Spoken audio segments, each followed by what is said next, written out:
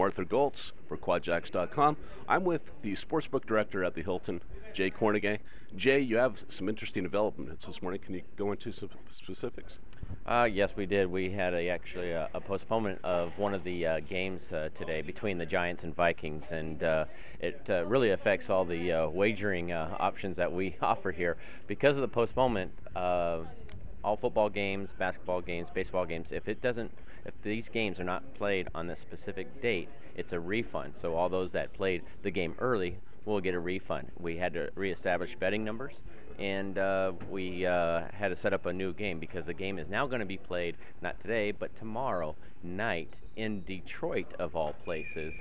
So all those people that bet that game will get a refund. It also affects our super contest, our, our big handicapping contest. Those that pick that game, either the Giants or the Vikings, will still have action on that game because the stipulation in the contest is it just has to be played that by the end of uh, Monday of that week. So everybody still has action on there. People that picked the Giants got a really good break because they were uh, only minus two and a half uh, on the card for the contest, and now it looks like the Giants are going to be a six-point favorite on a neutral field. Quite a significant move right there. Can you explain to me where the action is this morning and this afternoon, perhaps even tonight? Okay, uh, we took uh, some late action, uh, some big action on the, the Raiders today. We also took some on the Bears.